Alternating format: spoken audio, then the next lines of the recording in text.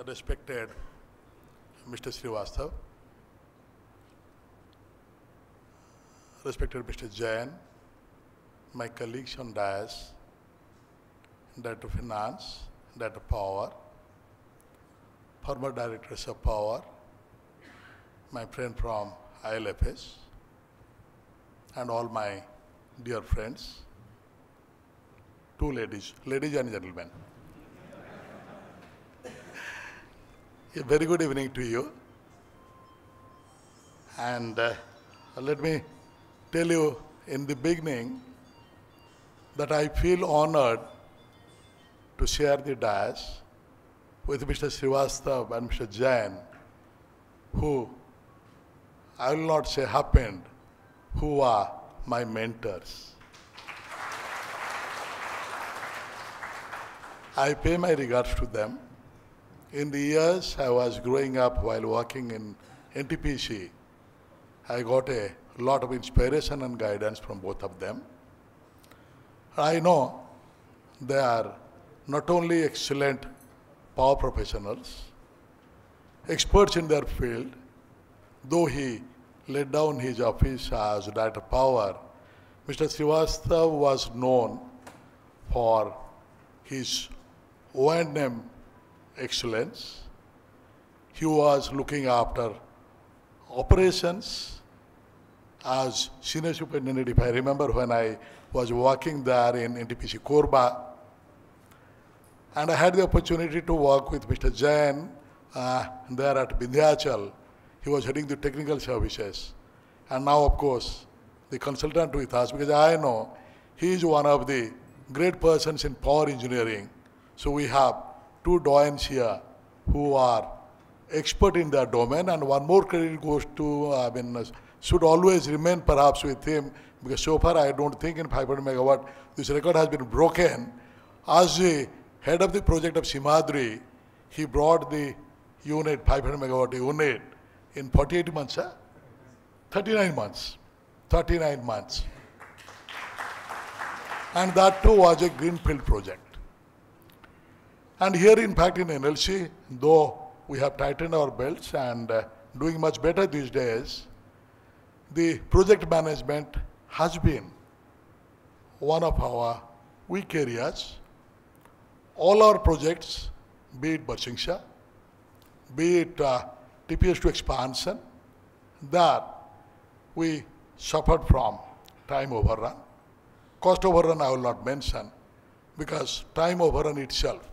And now also TPS2 expansion, though we could commission after a long delay last year, still we are struggling with the stabilization process. And I'm happy no, to note that uh, Barsingsar has stabilized, continuously running with uh, 250 megawatt plus, 100% capacity. I congratulate Mr. Ramindran, Director Power and the team. And coming to TPS2 expansion, Mr. Shankaran told, said, don't worry, we'll bring it up and naturally he is doing, doing his best.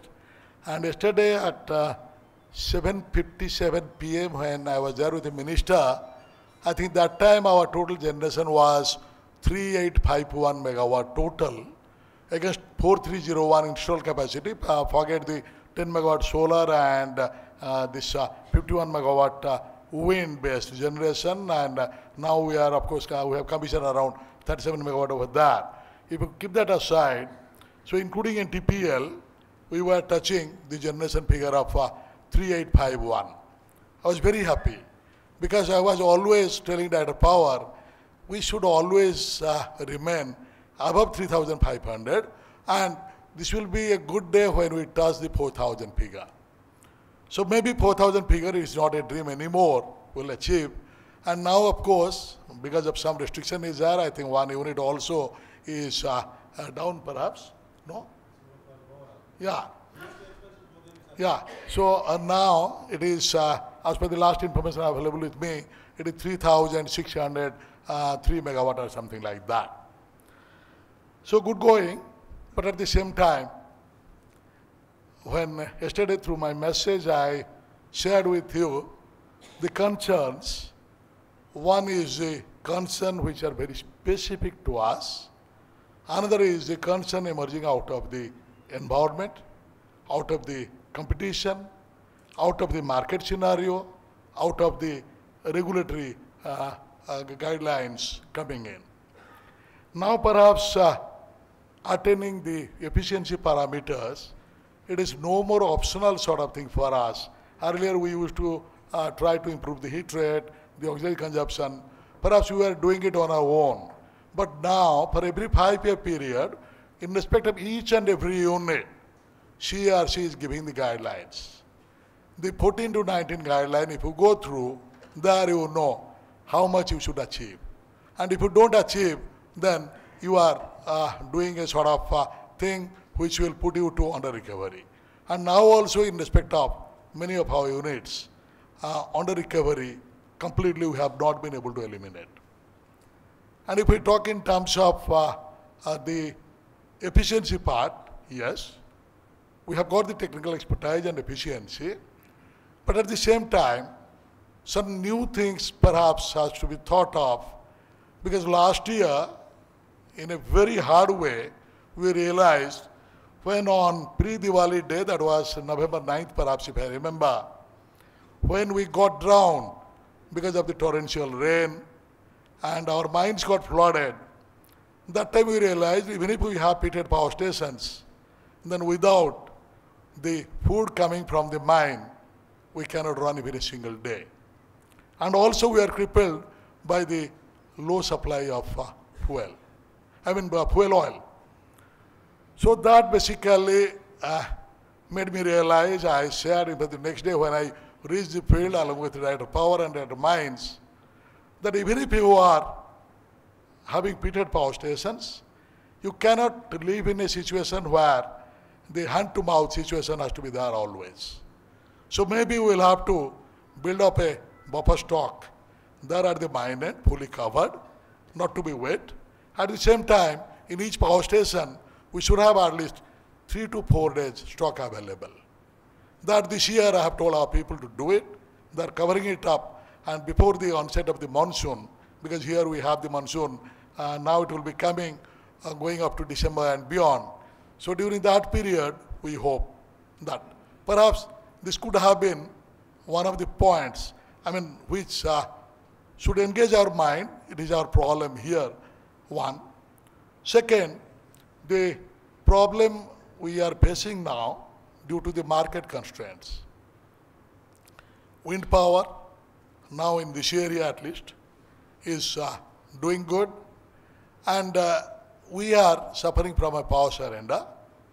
Though we have PPAs with the DISCOMs, though we have the PPAs with uh, SEBs, where we get full fixed cost recovery, but at the same time, when the power surrender takes place, I lose the opportunity of operating beyond 85%, and there I lose my incentive, one.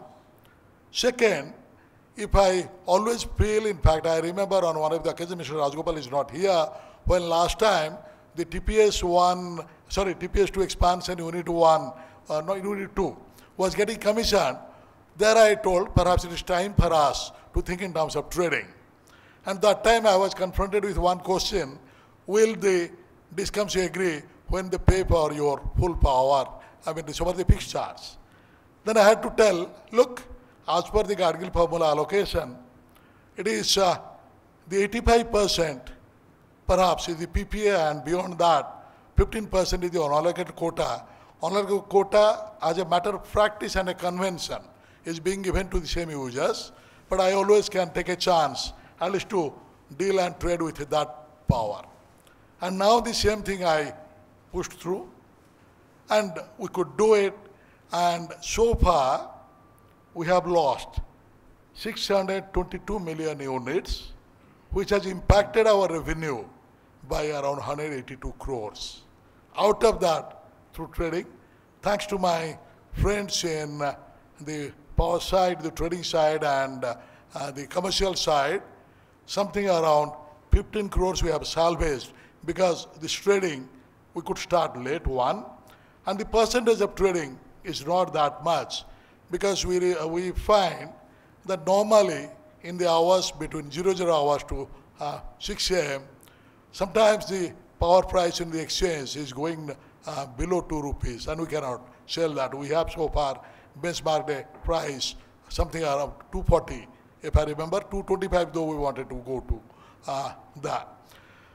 So these are the new things which are happening, one in the market scenario, and that, that also points out to one thing, that you have to be very competitive, what our Director Power was, Finance was telling, that we have to be cost competitive. In fact, yesterday in my message also I said, the, to be a cost leader, and for that, not only the operational efficiency, the predictive quality management, I mean, so far as the maintenance aspects are concerned, and then uh, we have to have the low cost fuel. And when fuel comes from a long distance, the landed cost of the fuel goes up. Because we have a plan to go for a 4000 megawatt power station in Sirkazhi for which we have been allotted Talabira 2 and 3 mine blocks with a 20.5 million ton.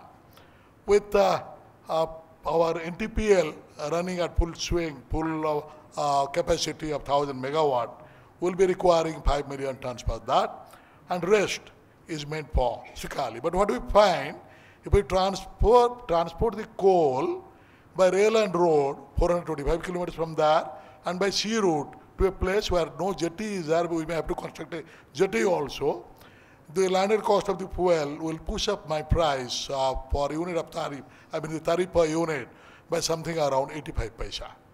So whether it will be economically viable, though we have the PPA, I'm asking now the DISCOMs, please uh, validate, because it should not happen that tomorrow in the market where merit order generation will count as a high cost power producer, my power should not be dumped.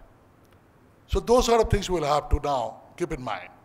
And the second thing what Srivastava was telling, uh, apart from the regulators, regulators are becoming strict and uh, they would not allow you to pass through your inefficiency, inefficiency in uh, generation process or maintaining the efficiency parameters where we are lax, they will not allow uh, a pass through to affect the customers or the consumers. But there also what we find, now the new norm coming, the FGD and DeNOx will have to put in existing power stations. And now as per the new norms, we will have to add capacity only to supercritical boilers. The second phase of expansion for our TPS2, uh, that we earlier planned for 500 megawatt conventional boiler, but now we are going for 660 megawatt supercritical boilers. And for and for we are thinking in terms of ultra supercritical 800 megawatt boilers. So these are the areas, and in fact, as I uh, shared with you earlier uh, with our own people over here, uh, in our aim to add capacity, we have to go through a very competitive mode and project management has to be excellent, one. And the time overrun we should not allow. And let me tell you, perhaps we are the company, I mean one company where this time we got the PIB clearance for that our 2000 megawatt, rather it is 1980, 660 supercritical into three units coming up uh, near Kanpur and Ghatampur. There we got the PIB clearance and we were, we were ready parallelly in seven days time we placed the awards for main plant, SG and TG both. So we are picking up, we are catching up, and I know a lot of uh, expertise we have. Only thing is, perhaps somebody will have to tell you, like, like the Hanuman used to be told, or the Bhim used to be told, look, you have got tremendous potential. So here is a reminder for you, you can do and deliver. So maybe you will have to awake, accept the challenge and deliver, and you will delivering.